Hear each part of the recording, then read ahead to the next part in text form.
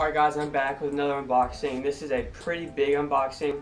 I don't know how good you can tell by the box, but it's from Orbit and it's a hoverboard and the box came a little damaged right here, but I'm pretty sure that's the only thing damaged. So I don't think it'll hurt too much, so I'm going to open it up right now. It is a refurbished, so I don't know how good quality it came with. So.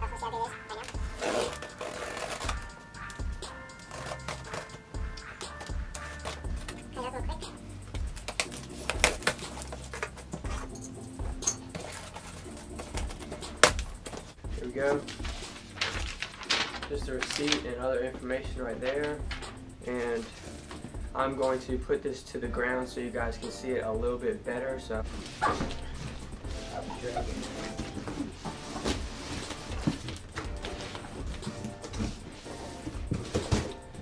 There's the box over there.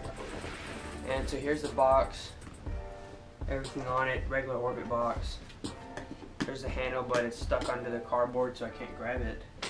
And I did get the red one, so uh, here we go.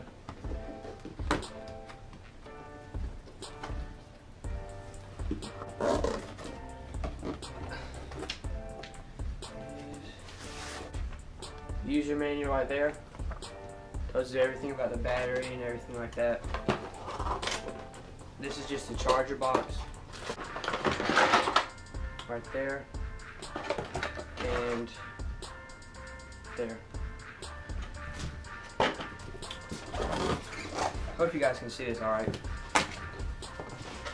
Styrofoam and there it is. So I'll go ahead and take this out and get the box out of the way. There it is guys. Pretty heavy, as all hoverboards. Um, so everything looks fine. I will be putting like protective black type tape. There, turns on full battery right there. Nice. I think it looks pretty cool like this color, but I'm going to turn it off.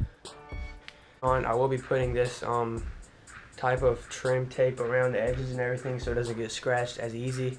Alright guys, this is what it looks like with the trim on it, the black trim. You can get black or chrome. And you already saw how it rides pretty fine. I'm just showing you around what it looks like.